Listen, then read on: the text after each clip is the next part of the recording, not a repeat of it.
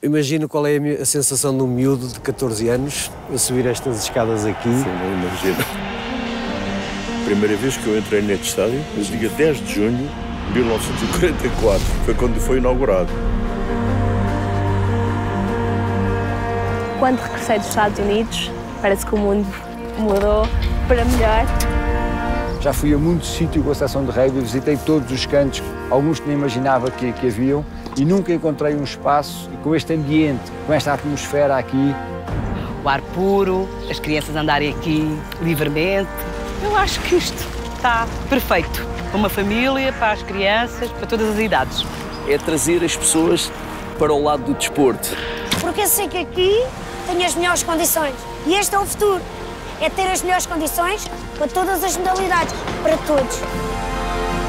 Tudo, tudo, tudo, tudo está à vossa disposição. Só falta uma coisa: é vontade de ganhar.